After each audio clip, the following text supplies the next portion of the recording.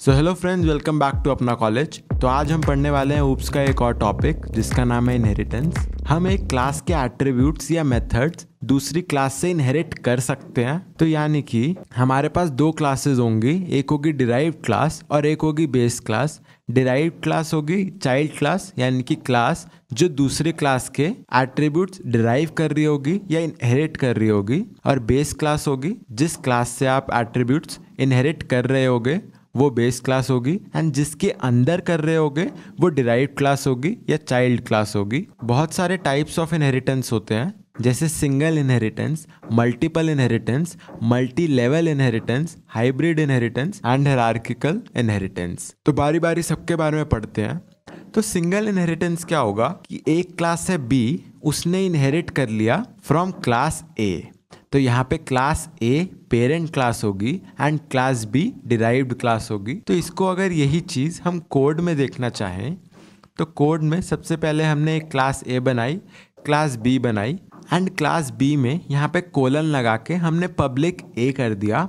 तो इसका मतलब क्या हुआ कि ए के जो पब्लिक और प्रोटेक्टेड एट्रीब्यूट्स थे एट्रीब्यूट्स यानी कि डेटा मेंबर्स और मेंबर फ़ंक्शंस जो थे ए क्लास के वो क्लास बी के पब्लिक में आ जाएँगे। और जैसा कि हमें पता है प्राइवेट वाला पार्ट कभी इनहेरिट नहीं होता। इनहेरिट होता है सिर्फ़ पब्लिक और प्रोटेक्टेड तो ए के पब्लिक और प्रोटेक्टेड एट्रीब्यूट्स क्लास बी में पब्लिकली आ जाएँगे। तो जैसे मैंने यहाँ पे बी डॉट फंक कर दिया तो अगर आप देखो क्लास बी में फंक वाला फ़ंक्शन नहीं है बट अगर आप इसे रन करोगे तो इनहेरिटेड प्रिंट हो जाएगा। क्यों? क्योंकि जो फंक फ़ंक्शन था, वो क्लास बी ने इनहेरिट कर लिया from class A similarly multiple inheritance क्या होगा? मल्टीपल इनहेरिटेंस में मान लो आपके पास है क्लास सी ये दो और क्लासेस को इनहेरिट कर रही होगी अपने एट्रीब्यूट्स क्लास ए और क्लास बी तो इस तरह के इनहेरिटेंस को हम बोलेंगे मल्टीपल इनहेरिटेंस तो इसका भी अगर हम कोड देखें तो क्लास ए बनाई हमने एंड क्लास बी बनाई एंड क्लास सी में हमने पब्लिक ए पब्लिक बी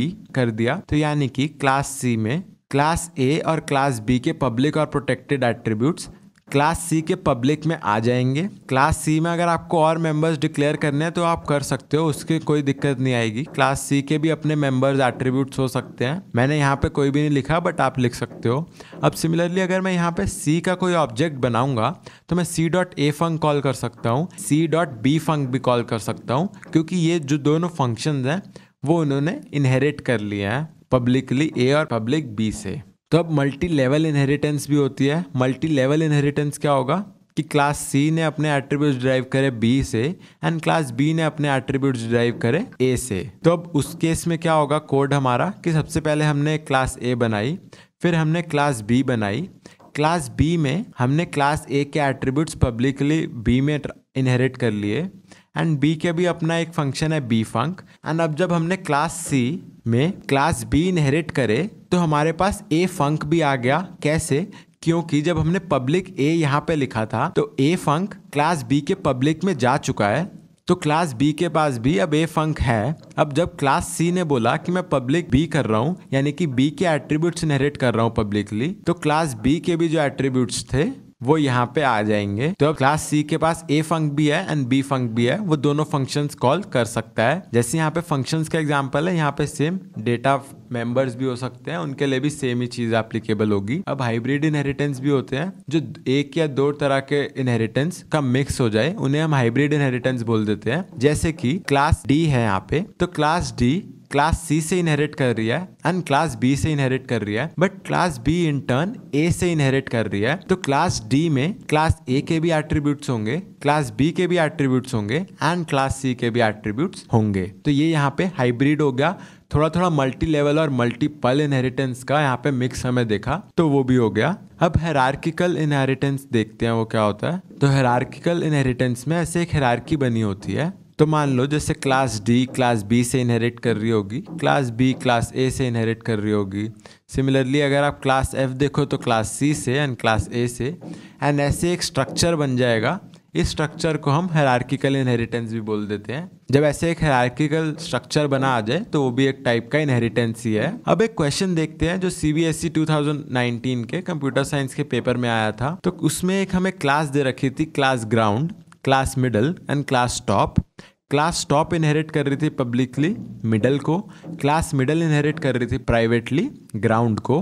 तो यहाँ पे जब प्राइवेट ग्राउंड करते हैं तो इसका मतलब क्या होता है कि ग्राउंड के जितने भी इनहेरिटेबल इंस्टेंट जितने भी इनहेरिटेबल एट्रीब्यूट्स होते हैं, जो प्रोटेक्टेड या पब्लिक होते हैं, वो क्लास मिडल के प्राइवेट में चले जाएँगे. अब जब क्लास मिडल के प्राइवेट में कुछ डेटा आ गया तो वो आगे इनहेरिट नहीं होगा बट ग्राउंड से तो उसने इनहेरिट कर ही लिया अपने अंदर। तो जो भी फ़ंक्शंस होंगे तो क्लास मिडल में जो भी आपने इनहेरिट करे हैं ग्राउंड के मेंबर्स वो इसके प्राइवेट में चले जाएँगे। तो आप क्लास के अंदर तो इन्हें एक्सेस कर पाओगे बट आगे ये इनहेरिट नहीं होंगे। तो अब क्वेश्चन देखते हैं तो सबसे पहला क्वेश्चन जो आता है कि ये किस टाइप की इनहेरिटेंस है, वो बताओ। तो आप सोचो किस टाइप की इनहेरिटेंस यहाँ पे हुई है? तो ये यहाँ पे मल्टी लेवल इनहेरिटेंस हुई है, जैसा कि आप देख भी सकते हो टॉप ने इनहेरिट करा मिडल को मिडल ने इनहेरिट करा ग्राउंड को तो यहाँ पे मल्टी लेवल इनहेरिटेंस हुई है। अब सिमिलरली अगर आपसे पूछा जाए कि write the names of all the members which are directly accessible by the member function give of class middle तो ये हमारी क्लास मिडल है। तो क्लास मिडल का जो गिव यहाँ पे फ़ंक्शन है, वो कौन कौन से मेंबर्स या कौन कौन से एट्रीब्यूट्स यहाँ पे एक्सेस कर पाएगा? तो गिव पहले तो लैब्स भी कर पाएगा क्योंकि भले ही प्राइवेट है बट क्लास के अंदर तो ये एक्सेस कर सकता है। टेक भी एक्सेस कर पाएगा। जब इसने इनहेरिट करा ग्राउंड से तो ग्राउंड के भी प्रोटेक्टेड और पब्लिक जो एट्रीब्यूट थे वो भी यहाँ पे हो जाएँगे और लैब्स भी। तो यहाँ पे डेटा मेंबर्स जो इसने एक्सेस कर पाएगा, वो लैब्स होगा। एंड मेंबर फ़ंक्शन जो जो एक्सेस कर पाएगा, वो होगा पुट गेट इनहेरिटेंस के through and take and give तो इसी के क्लास के मेंबर्स है तो वो तो कर ही पाएगा। अब नेक्स्ट सवाल पूछा है कि write the names of all the members which are directly accessible by the member function out of class top तो ये हमारे पास क्लास टॉप है। इसका जो आउट फ़ंक्शन है, वो किन किन मेंबर्स को एक्सेस कर पाएगा, वो बताना है। तो सबसे पहले तो इनको भी कर पाएगा एंड रूफ को भी कर पाएगा। ये तो इसके क्लास के ऑब्जेक्ट्स हैं ही। बट ये यहाँ पे पब्लिकली मिडल को भी इनहेरिट कर रहा है। तो मिडल में यहाँ पे टेक और गिव है, उन्हें भी एक्सेस कर पाएगा।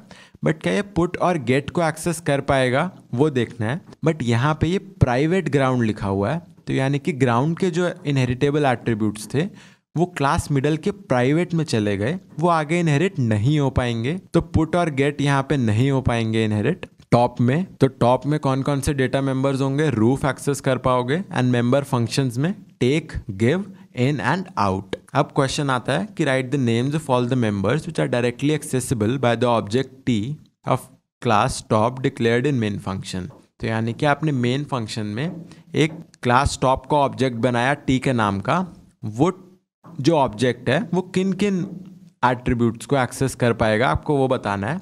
तो मतलब क्लास के बाहर से एक्सेस हो रहा है तो क्लास के बाहर से एक्सेस रूफ तो नहीं हो पाएगा इन हो जाएगा आउट हो जाएगा एंड एंड और यहाँ पे कौन से पब्लिक फ़ंक्शन है क्लास टॉप के बाद? टेक और गिव क्योंकि ये पब्लिक मिडल लिखा हुआ है तो मिडल के जितने भी पब्लिक एट्रीब्यूट्स थे, वो यहाँ पे इनहेरिट हो रहे होंगे तो टेक और गिव पब्लिक फ़ंक्शन होंगे तो ये भी बाहर से एक्सेस कर सकते हो। तो यहाँ पे इन आउट ये तो पब्लिक क्लास के मेंबर्स थे ही एंड टेक गिव भी हो जाएँगे, क्योंकि ये भी पब्लिक फ़ंक्शंस थे। ये भी क्लास के बाहर आप एक्सेस कर सकते हो। तो आंसर है take give in and out तो आई होप आपको इनहेरिटेंस अच्छे से समझ आ गई हो। इनहेरिटेंस क्या होता है? किस किस तरह के होते हैं? एंड अगर आपको ऐसे क्वेश्चन आए तो कैसे आपको डील करने हैं? तो अब हम मिलेंगे नेक्स्ट वीडियो में। बाय